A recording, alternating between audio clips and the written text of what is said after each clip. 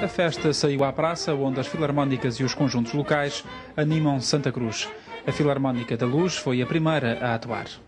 Mas a segunda noite das festas do Senhor Santo Cristo foi também dedicada às marchas. Graciosa cheia de graça, que fez este ano sucesso nas Sanjoninas e agora desfilou em casa. Da Ilha Terceira vieram 260 idosos que integram o projeto Por Favor Não Caia, do PNFX e do Inatel. Aproveitam para manter uma vida ativa nestas duas ilhas, que se completam e abraçam. E a terceira, em, em, em particular, os Graciosenses, têm uns laços extraordinários de amizade e de, e de continuidade. Portanto, nós, os descendentes, sentimos na Graciosa como se estivéssemos na, na terceira e os Graciosenses também se sentem como quando vão à terceira estivessem na Graciosa.